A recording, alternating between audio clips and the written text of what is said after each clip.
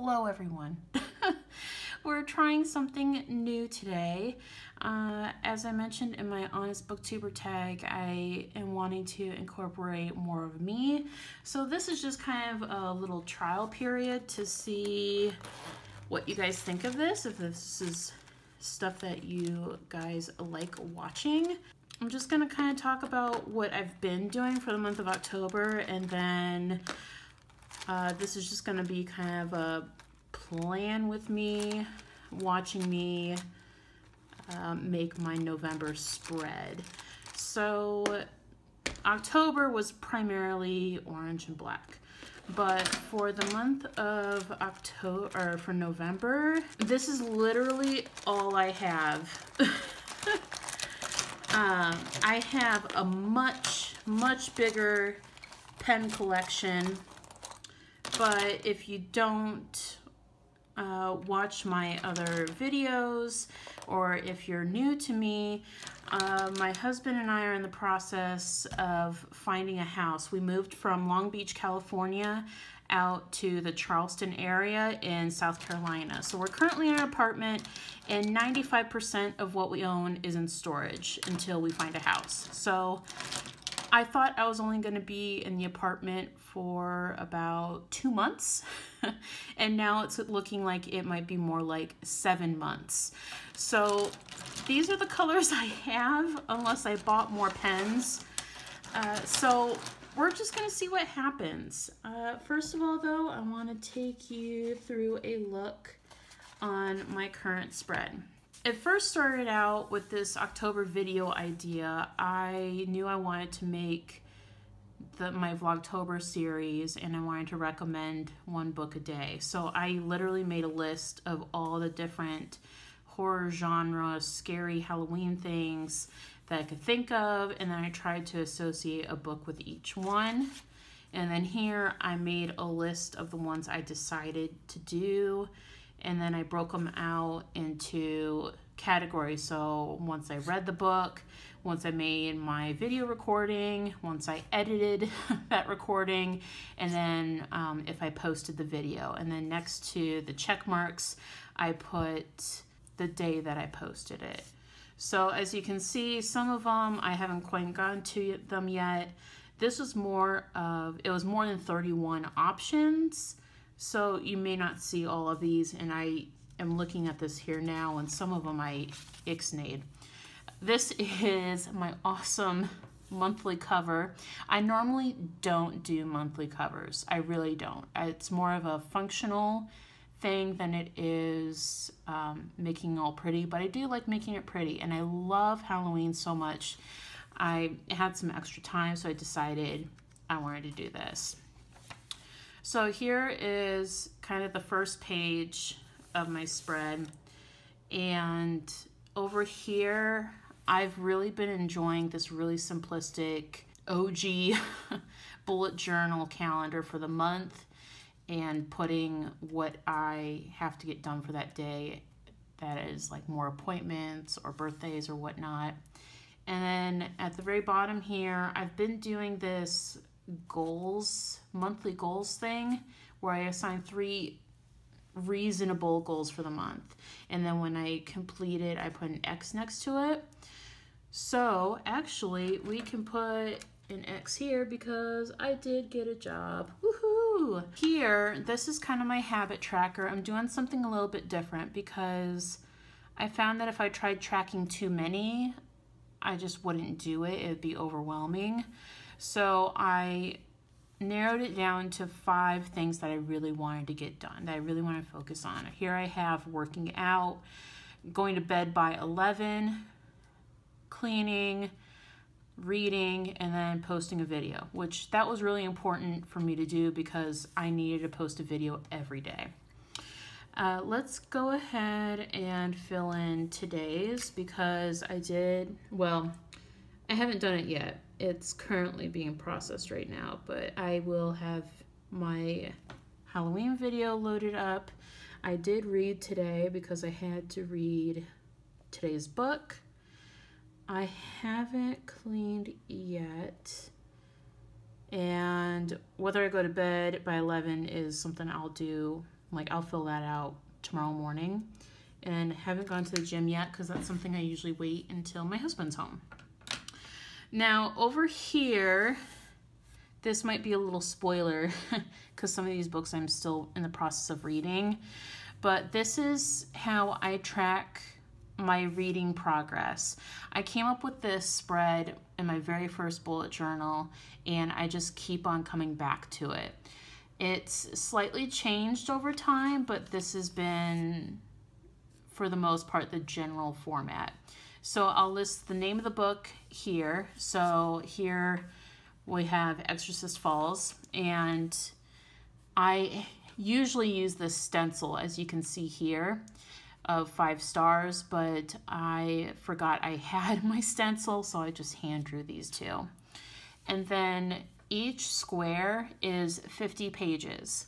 So I will draw the box out on um, how long the book is, and then I color it in and put a little tab on how much I read for that day. A really good example is like Night Parade here. Oh, this was an audiobook. When it comes to audiobooks, I do each square as 30 minutes instead because they don't have the page marks.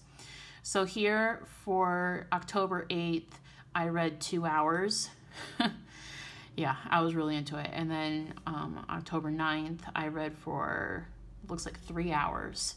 So it's just really nice to see how much time I'm spending on each book, how fast I'm flying through them and also if it's taking me a while to get through the book as well. It's kind of nice to know, or if it's been a while since I've picked up the book, it's like, okay, well, I, I should probably get back to that. Now, for these, you'll see they're all kind of the same size, and I didn't really want to do this, but because I was reading so many books on my Libby app, they don't have a page count, and it's not timed. So I didn't really know exactly how I was going to mark that out. So I decided to do each box is 5%. So each one is obviously 100%. So it just kind of nicely turned out to be the whole page. But preferably, I like to see how long the books are or how short they are. Um, I just think that's better for my brain. And then obviously when I'm done with the book, I try to put the day that I finished the book at the very end as you can see here. And then I put my star rating. So for this page, um, I was just coming up with some things that we're wanting to renovate on our house trying to come up with a needs and wants list. This is stuff that we know we need to get done or we want to get done just so that we can prioritize if the budget's a little too much, we know where we can cut costs. This is another spread I made. As you can see, normally I don't have to make two pages. I had to make two pages for this because I was reading so many books. Over here, um, it was getting to a point where I knew I needed to read a lot and I wanted to schedule out how much I need to read each day in order to stay on time. So what I did is this column is the book that I'm reading, or in this case, there's usually at least two books that I was reading each day, and then what mark I had to get in that book for the day. Here is the video that I would need to record and edit, and then when I would need to post it. So I have the days listed here. So for this first one, I needed to read to the end of across um, those across the river and the witch trinity. I needed to get to 40%. I had to record and edit my Frankenstein video and the vampire video. And then I needed to make sure I posted my exorcisms video. Some of these I did switch around the posting um, just because it was a matter of what I wanted to film and what I wanted to talk about. As you can see, I didn't stay on schedule, but it did help a little bit to kind of break it down. Here, this is kind of what I normally do for my dailies. I try to keep it really, really simple. When I have access to them, I really like using my stickers to kind of help decorate a little bit and make the page look nicer but I really try to stick to this really simplistic format because that's what helps me use this. Uh, I talked about this a little bit in my Honest Booktuber tag video, but we are doing renovations on the house. So we were trying to figure out okay, well, how do we want the house? We're to have to do some major renovations, like tear down walls. Like, what would we want it to look like? So I drew out the existing house, drew out where the walls are, and we measured the house. So that's what's in orange is the measurements of the house. And then I just kind of copied, like I traced the outline. Well, did I trace it? No, I kind of flipped it. So this is what we're ultimately wanting our house to look like. And as you can see here, we're wanting to add on to the house as well. So kind of just playing around with this. Now, the reason you're probably thinking like, why would you put this in your journal if you're wanting to play around with it and possibly change it? Well, I was using these uh, Pilot friction pens, which they're erasable. So it's not like pencil necessarily because it doesn't smudge like pencil. It writes like a pen, but it uses friction to erase it. So like here I have written closets. You just put a little pressure down and it's gone. So I use that a lot when changing this up. And then I put in black my uh, non-erasable Micron pen or my um, Staedtler Triplus Fineliner pen. So that way I didn't erase the lines of where the house actually is, but I could still erase all this. Here, just making a little pricing list since there's so many things that we're wanting to renovate. We kind of wanted an idea of what everything's going to cost. So we were just we went to Lowe's because it's right across the street. Took different things down. So that's what that is. Um, kind of tried to switch it up for the daily. I wrote down the Honest Booktuber questions so that way I could just read off them. And that's where I'm at right now. I was trying to play around and think of different things that I could do, but I really think I'm to stick to what I've been doing in terms of like this page. Now, in the past, when it comes to my reading, this is the page I always like to refer to. I used to do this time tracker thing because I was using the Bookly app and I would time myself on how long I would read. And I really liked using it because I would write down the time that I would read a certain book and I'd color code it. So I'd write the book that I was reading or maybe that I wanted to read and then I'd put it in here so I could see, okay, well, I was reading every day this week. Friday I didn't. So pretty good week. Saturday I did a lot of reading. You can see I got to multiple books there. And then I didn't read so much this week. This is also really helpful for me to see because reading is a self-care thing for me. So I noticed, like I remember looking at the spread and getting to around the 27th, 28th here, and I'm like, man, I'm just feeling really crummy. Why do I feel so crummy? And then I looked as like, oh, well, I haven't been reading. I haven't been taking care of myself. Maybe I should read. So I made sure to spend some time that weekend to read. So this is what I was doing for a while, but what was kind of happening was I was more focused on being accurate with my reading time than I was with just reading as I wanted to. But I really liked doing this. I just don't know how I want to incorporate that with my current reading habits. So we're gonna kind of play around, see what happens. I was thinking, I was looking at my pens and I think I'm gonna go for more of a purple route for November.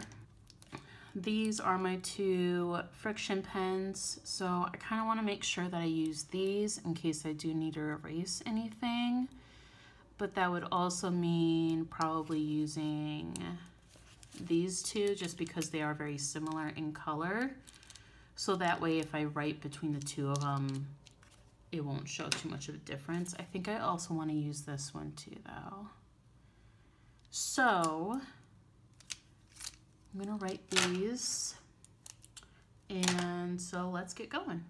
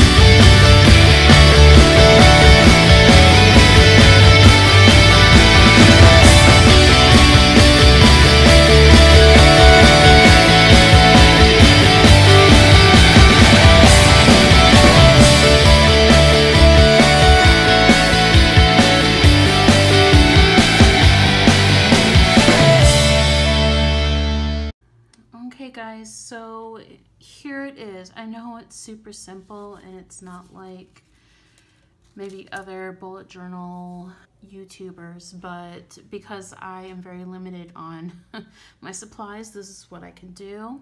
So for my monthly tracker, normally I do different colors for the days and then the day of the week, but I just started and I was like, you know what, I'll just go with it.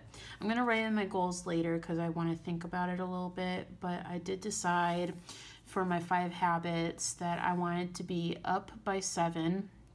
The shoe is just to keep track of things on my Fitbit because I do want to be more mindful of what I'm eating and how I'm exercising. This one is just to read every day. This one is to be either reading the Bible or doing like daily Bible verses or something like that. That's something I've been wanting to be more intentional about. And then posting YouTube videos. I'd really like to see that progress and see how often I am posting videos, just out of curiosity's sake.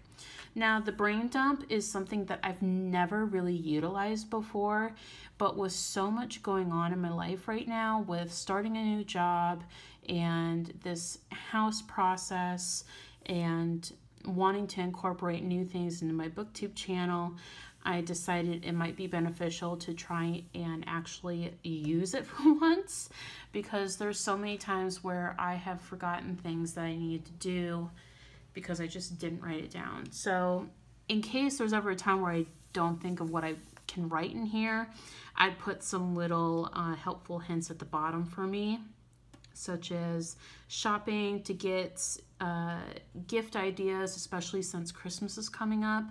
My parents are coming up to visit the first week of December, and they're going to be taking my brother and my sister in law's gifts with them. So I want to make sure that I get that stuff done this month. Um, anything I need to know for next year, to keep a note of it here, things to look into, things to remember, um, just ideas, things to do eventually. And then here, as you can see, I started working on my reading progress. I, I brought this back because, like I said, I really love this format. I love looking at it. I just didn't know how I was going to use it. So here, instead of um, TBR for the month, I put on my radar. That way, there's not that pressure that all the books I list are ones I'm going to read or ones that I have to get to. I really like tracking um, how many books I've read and how many days I've read for the month. I know I can see it here, but I like filling up the space. I think I'm going to put something here about like my favorite read of the month just to make a little note of what that is. And then here, instead of writing down my times, I think what I'm going to do is either like, normally I would color code each book a different color, but because I'm trying to read only like one or two books at a time, I think I could still do that color coding and just put a check mark if I read the book that day. And then if it is an audiobook, maybe I will put the time of how much I listened to the book. Uh, so I'm to play around with this. We'll see what happens. As you can see, I made a little mistake there, but you know what? Is what it is. I was able to fit the rest of the month, so I'm not too upset about that. Over here, um, here's a little sneak peek in the books that I'm going to start reading at the very beginning of the month. There are a few others, but um, these are the ones that I want to put most of my attention to, mainly because I've already started these two and I want to finish them. And this one is going to be returned back to the library really soon, so I want to make sure I get to that pronto. Um, as you can see, I didn't write out the boxes all the way because I don't know how long they are. I mean, I could go back and just use this generic length, but I actually want to try and put the actual length of the books according to my 50 page, 30 minute thing. This one doesn't nicely fit into either category, so I think I might just use the location numbers or something on the that are on the app. So we'll think about that. And then I already started out my Friday daily. I don't know about you guys, but I'm really excited about the uh, the Shane Dawson palette that's coming out tomorrow. So I just kind of wanted to make a little note of how that's coming out tomorrow. And then we have a house inspection tomorrow, so I want to make sure I wrote that down. But yeah, so that is my month. And if there's any other videos you want to see, like I do have all of this from earlier in the year. So if you guys want me to do a flip through, just let me know. Um, otherwise, I'll see you maybe towards more the end of the month to see how I fill this out. Thanks for being here. Bye.